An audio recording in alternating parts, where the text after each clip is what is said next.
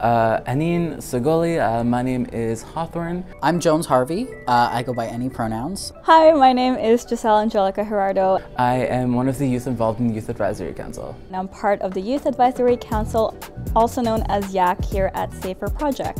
We are in Saskatoon in Treaty 6 territory. For our last in-person YAC meeting. SAFER stands for Safer Access for Everyone in the Rainbow.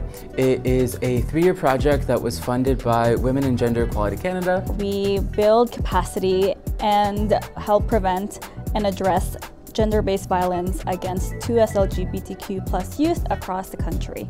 The role of the Youth Advisory Council, as the project has evolved, has been to um, provide input and uh, overview on the different things that the SAFER project has done. It essentially helps to ensure that with SAFER's aim, as well as the ongoing work that it does, that it is reflective of the population it's supposed to help. Being a part of the Youth Advisory Council has been an opportunity to um, have my voice be heard, uh, to engage with other people who have uh, similar experiences and different experiences from me so we can all um, put our heads together. When I joined the Youth Advisory Council, it was in 2021 in the middle of the pandemic.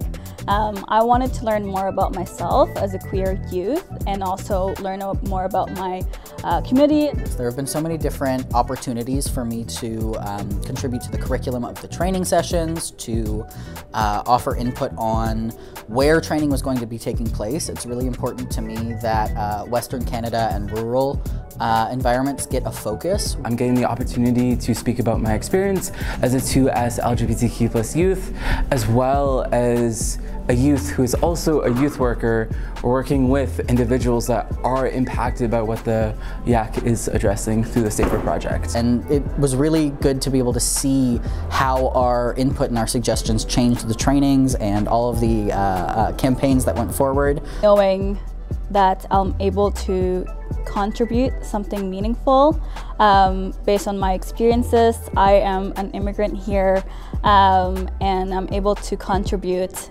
what my cultural background is and also help to make sure that there is a voice like that here. Coming from the perspective of a 2S First Nations Haudenosaunee individual, being able to see its impact, an example would be with the PEC, the Public Education Campaign. We're making sure that like it's reaching Indigenous voices as well in the work. Um, it's been really heartwarming. In the future, um, I hope to use the professional development skills and knowledge that I gained.